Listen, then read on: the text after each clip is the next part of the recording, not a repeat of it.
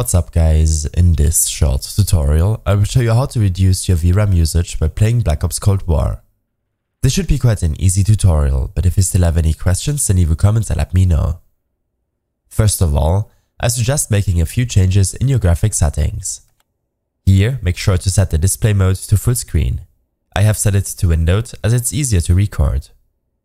Below, set your render resolution to 100%, but in case you're using a low-end graphics card, then lower it to around 90 and play a game to see by how much it helps. This will in any case reduce your VRAM usage, but the visual quality will suffer a lot. In the details and textures and shadow and lighting settings, I suggest to lower these settings according to your system specs. Especially the texture quality and shadow quality options have a lot of impact on your VRAM usage. Disable anti-aliasing, order independent transparency and don't forget to apply your changes.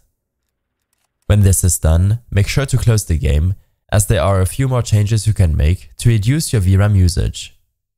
First off, open up your File Explorer and navigate to Documents, Call of Duty Black Ops Cold War, and here, make sure to open the config file with the text editor like Notepad.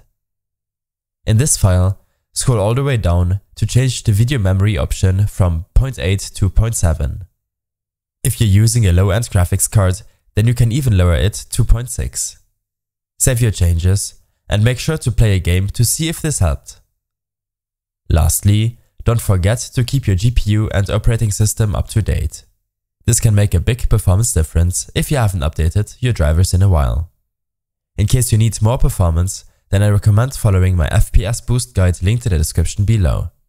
I hope this helped you out Leave a comment if you have any questions and see you in the next one.